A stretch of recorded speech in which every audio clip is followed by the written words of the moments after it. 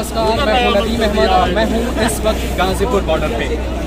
जब जब दिल्ली आ रहे थे किसान तो बॉर्डर के आसपास जब पुलिस वालों ने हाईवे को खोद करके खाई बना डाला था, तब ये एहसास बिल्कुल नहीं था कि दिल्ली के किसान उन मजबूती बैरिकेड्स को तोड़ करके दिल्ली के अंदर आ पाएँगे लेकिन जब किसान दिल्ली के अंदर दाखिल हो गए तो इसके बाद भी इनका संघर्ष अभी भी जारी है। आज बत्तीसवा दिन है और आज आज भी गाजीपुर बॉर्डर के पास किसान लगातार प्रदर्शन कर रहे हैं। लेकिन प्रदर्शन के साथ साथ यहाँ के किसानों को लगातार कई ऐसे मुद्दे हैं जिससे जूझना पड़ रहा है। पहला मुद्दा ये है कि सरकार को मनाए कैसे?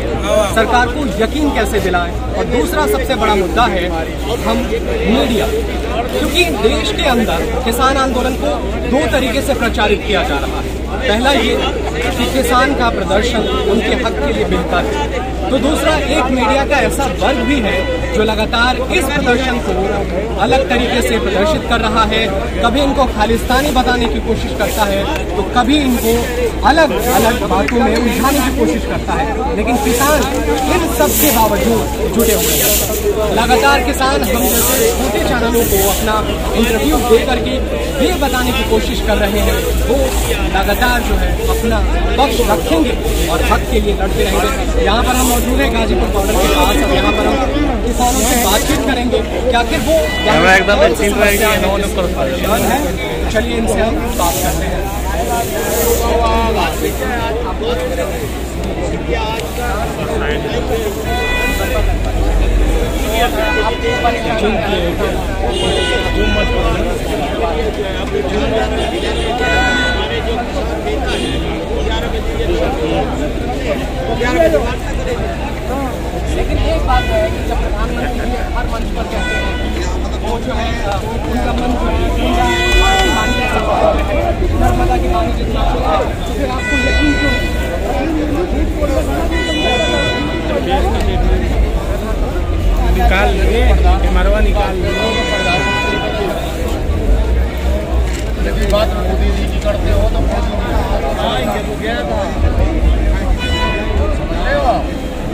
इसके प्रधानमंत्री की बात करो तो उस पर यकीन है। यकीन से ही तो देश की सत्ता उनके हाथ में सौंपी जो कौन कह रहा है आप उन पर यकीन नहीं है। यकीन ना हो तो देश की सत्ता सौंप वो तो यकीन दिला रहे हैं कि एमएसपी खत्म नहीं होगा। वो पहली बात वो दिला रहे हैं। साथ ही वो कह रहे हैं कि वो जो है बाकी जो कानून में बदलाव नहीं करेगा। ऐसा मुद्दा उठ रहा है कि आपके खत्म हो गए खेत है उस पर क्या जो है बड़ी कंपनियों का कब्जा है लेकिन ऐसा बात नहीं है कि कई बार तो वो बता चुके हैं, लेकिन आपका पता क्या है ये जानना चाहिए आप एक एक सवाल वो कह रहे हैं एमएसपी खत्म ना हो चलो मान लेंगे खत्म हो तो छोड़ो एमएसपी तो अब तो चालू है आगे खत्म होगी कि ना होगी, उसे छोड़ दो। अब तो चालू है। जब एमएसपी आज हाल फ़िलहाल की तारीख में चालू है एमएसपी अट्ठारह सौ अड़सठ रुपये धान की, मेरे भाई, धान की। और धान का अट्ठारह सौ अड़सठ की एमएसपी चालू होते हुए धान बिका बारह सौ। गेहूँ की एमएसपी उन्नीस सौ पच्चीस रुपये गेहूँ बिका सोलह सौ बाजरा की एम एस पी इक्कीस सौ पचास रुपये बाजरा बिका बारह सौ चौदह सौ एमएसपी आज भी है। वह एमएसपी से जो कंपनी खरीदी करे उसका इलाज करो, उस पर जाओ काम। एम एस पी की खरीद की गारंटी पे सौ प्रतिशत फ़सल के खरीद की गारंटी हो, उस पर काम लाओ गारंटी चाहते हैं लिखित बना चाहते। हैं हम चाहते हैं कानून बनाओ, कानून के दायरे में लाओ, उसे आपकी बात को हम मानते हैं कि इसको एम एस अंदर सारी चीज़ें लाना चाहिए। और जितना जो परफेक्ट मीट है, जो अगर सरकारी बोर्ड पे लिखा जा रहा है उसमें भी खरीदा जाना चाहिए लेकिन एक अलग चीज़ बात ये उठ रही है कि इसमें जो है राजनीतिक पार्टियाँ इसको अपने प्रदर्शन को अपने हिस्से से लेना चाहती है। जैसे कांग्रेस जो है, दो लाख किसानों का सिग्नेचर लेकर के राष्ट्रपति के पास जाते हैं, फिर गिरफ्तारी देते हैं। तो आप कैसे देखते हैं कांग्रेस जो है वो आना चाहती है या वो आप क्या सोचते हैं? कांग्रेस को आना चाहिए या वो अलग आप क्या सोचते हैं? जब कांग्रेस की सत्ता थी और किसान आंदोलन करता था, तब बीजेपी आती थी। अब सवाल बीजेपी से है, बीजेपी पूछ रही है, कौन फंडिंग कर रहा है? भाई, जितना पिछली सरकार में बीजेपी फंडिंग कर गई आज यूपी पर फंडिंग करे कोई फंडिंग करे तो सही हम तो तैयार बैठे हम कह रहे सत्ता में होते होइए यू करो फंडिंग हाँ। क्या बात है? जो फंडिंग किसको कर रही है पता आपको बता दें मैंने सुन। जो भट्टे पाकने वाले मजदूर हैं उन्हें टोपी पहना के जाए किसान बना के। जो पार्टी के कार्यकर्ता हैं इनके गाँव देहात में जो पदाधिकारी बने बैठे हैं। जो आरएसएस के लोग हैं, जो विश्व हिंदू परिषद के लोग हैं, उन्हें ले आइए, किसान बना के स्वाफी पहना कर और टोपी पहना पहना कर सरकार उन्हें किसान साबित करने को उतारू है। लेकिन एक चीज़ है आपसे जानना चाहिए कि आप लगातार कांग्रेस कांग्रेस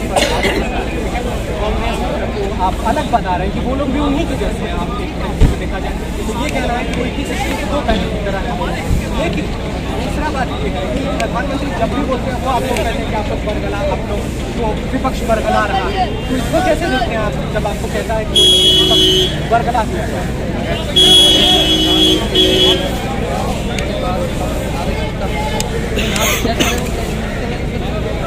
विपक्ष है, यहाँ पे पार्टी का और किसान सर्वे सर्वा किसान प्रधान देश आज जो भी है, वो किसान का बेटा है वो भले किसी पद पर काम कर रहा वो किसी पार्टी का करता हो लेकिन यहाँ किसान बन गया मैं भी एक किसान बन गया हूँ, मैं भी बिज़नेस करता हूँ, लेकिन मैं भी किसान बन के आया मैं विनोद आया तो ये कहना आप विपक्ष को अपना पल्ला झाड़ने के बाद बराबर है।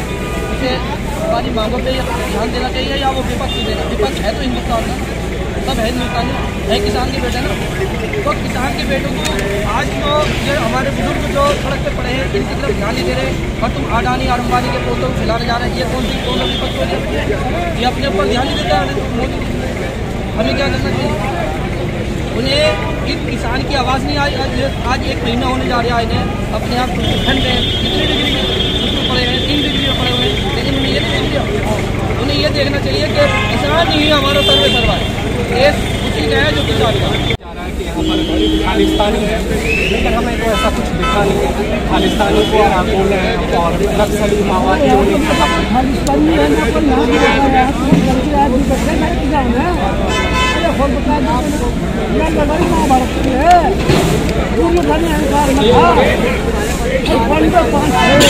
में क्या हो गया फिर ना तुम बन का नाश हुआ तुमने पाँच सकता है हम किया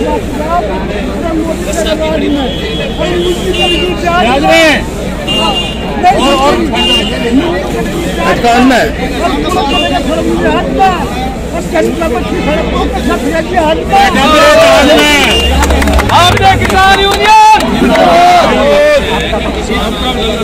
मोदी के किसान यूनियन वो शान सलामत है जिस घर से कोई मकसद हो गया वो शान सलामत अरे इसकी पीप नहीं बजाओ। और सरकार खोल दो मैं तो खतरा हूँ। मैं तो ले रहे हैं तो खतरा हूँ। तूफ़ान से जंग लेता हूँ। मुझे बचाना समंदर की तो मोदी जी ये ना सोचे कि ये टूटा है इसका जवाब ज़रूर मिलेगा और उन्हें ज़रूर मिलेगा। मोदी जी अभी घमंड में है ये सरकार ज़रूर टूटेगा रावण का टूटा था इनका भी टूटेगा।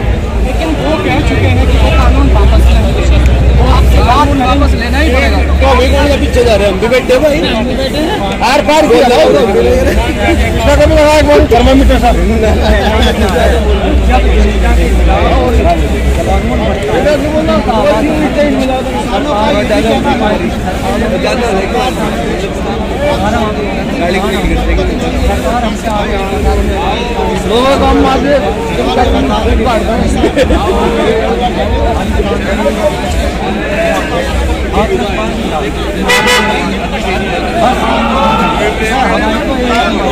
थर्मामीटर सा लोगों का हम आगे हम तो फुटबॉल पर लगे कोई पार्टी की सरकार आ जाओ वो भी हमें में जब कांग्रेस याद करने जनता ने बीजेपी को जिताया प्रधानमंत्री मोदी बन के जनता बहुत बड़ी था। मोदी जी हो आप मेरा सवाल। है आप डिजिटलीकरण करेंगे आप भविष्य को बेहतर करेंगे इस कानून से वो जो कानून लाए हैं इसमें किसानों का जो है बदलाव होगा बहुत अच्छे तरीके से बदलाव होगा। लेकिन आप इसे एक्सेप्ट नहीं करेंगे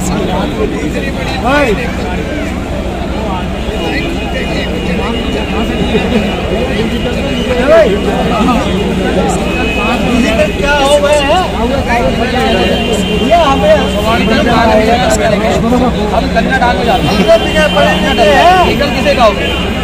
अपना माल दिया साल के गन्ने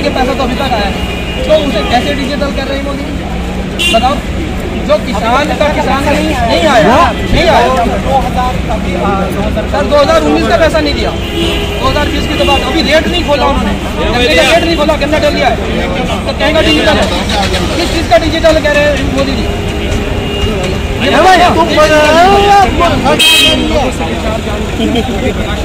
अपनी जगह पे है, लेकिन सरकार जो है अपना बात अपनी बात के आगे किसी को सुन नहीं रही, लेकिन हम जो है जनता की बात कर रहे हैं किसान की बात सुनने की कोशिश कर रहे हैं। हम जानना चाहते हैं कि जब प्रधानमंत्री कह रहे हैं कि उनका मंत्र है? गंगा के ये कौन सी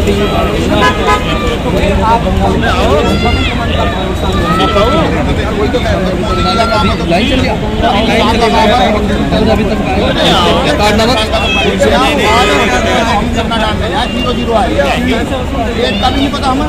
हमारा क्या भाव जाएगा एक लाला के जिनका मंडल या मूंगफली ले लोगो बिना बोनी करो तो परेशानी और हम बिना आधार है हमारे बच्चे कहाँ जाएँगे भाई? जो डिजिटल है इनका। डिजिटल भूमि पर अगर हो वहाँ बच्चे के डिजिटल नहीं पता लगेगा यहाँ आओ मोदी जी। जनता बताओ क्या डिजिटल है क्या नॉन डिजिटल है? क्या हो गया? हमको हो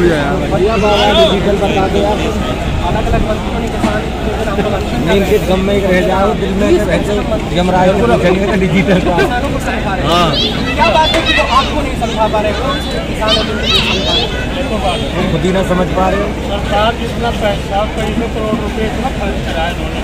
मंत्री की ड्यूटी लगाई विधायक की ड्यूटी लगाई फलाने की ड्यूटी लगाई। बेफजूल खर्चा कर है। किसान उनके बाहर में पड़ा। तीन कानों के ऊपर दुनिया भर की किताब गई। दुनिया भर के कायदे छप गए। किसान समझा इसकी डिपार्टमेंट कर दे अभी बहू आ रही डिजिटल इंडिया अब ये कानून जो बना दिए हैं ये सब सब में खा गए डिजिटल इंडिया है डिजिटल इंडिया कहाँ तो है। अलग अलग राज्यों जो होते हैं उन्हीं से मिलकर ये देश बना है। और देश की शहादत में सबसे ज़्यादा अगर आता है तो मेरे अपने हिसाब से पंजाब इसमें कभी कम नहीं रहा। पंजाब ने हमेशा देश के लिए खून दिया है। और आज शहीद दिवस भी है। भगत सिंह को जब याद करते हैं तो पूरा एक पंजाब समेट दिया जाता है इसमें। और पूरा देश जो है, वो किसानों के साथ है। वो अलग बात है कि अलग अलग लोग इसे प्रचारित कर रहे हैं। लेकिन मेरे साथ एक सरदार जी हैं।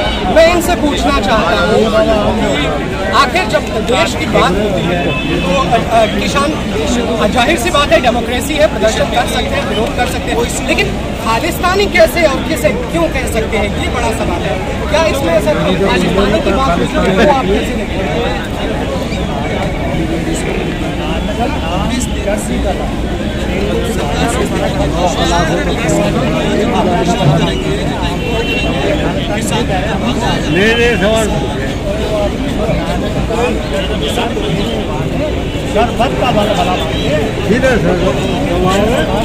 तीनों कानून जो बनाए हैं वे माफ़ी नहीं है।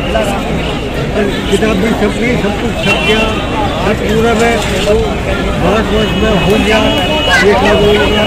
फिर जब भी जब भी ये कहेगा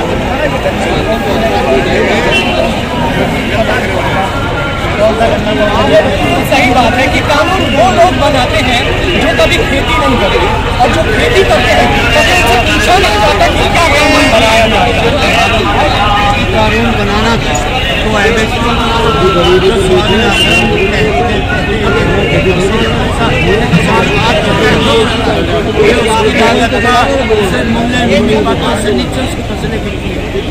जो कानून बनाना था, वो एम एस पे कानून बनाओ। कल भी हमारे संगठनों ने ये प्रपोजल भेजा है वहाँ सरकार को उनतीस तारीख को बात करने के लिए। उनतीस तारीख के पहला एस पे कानून बनाया जाए और एन कानून में जो भंडारण इन्होंने अनलिमिटेड और उस पर